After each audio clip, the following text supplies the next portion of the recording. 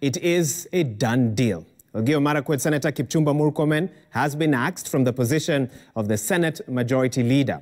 Murkomen and his Nakuru counterpart, Susan Kihika, were formally stripped of their positions after Senate Speaker endorsed those changes. And as Sam Ogina reports the cracking of the whip by President Uhuru Kenyatta sparked outrage from Deputy President William Ruto's allies who've launched scathing attacks against Jubilee Party and, uh, of course, President Uhuru Kenyatta claiming that he masterminded the ouster. The West Pokot Senator Samuel Poghisio took the majority position in the Senate, a culmination of a bitter row within the ruling Jubilee Party.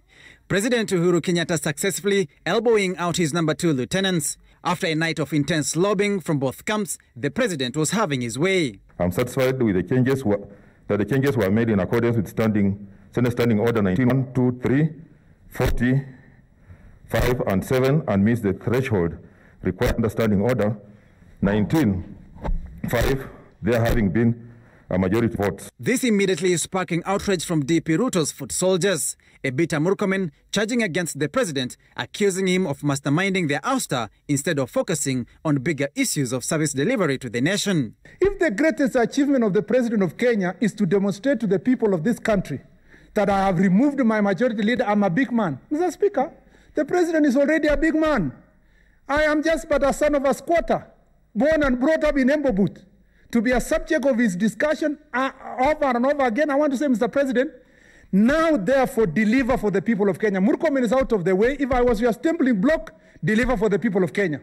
The duo presented a list of 22 members whom they claimed were opposed to the State House meeting that sanctioned their removal. But the decision from State House was accompanied by a list of 20 senators who ratified the axing of Murkomen and Kihika. But in flexing of muscles, the list by Ruto allies had two senators not appending their signatures, this including Trans Nzoia Senator Michael Mbito and Deputy Speaker Kithure Kindiki. The same Mbito appeared in both lists alongside Uasin Gishu Senator Margaret Kamar. Mr. Speaker, I want to tell the president, stop lying to the Senate. You told us you will give us oversight fund. Bring the oversight fund to the Senate if Murkomen was the stumbling block. I know there was a lot of coercion, there was a lot of intimidation, but I understand.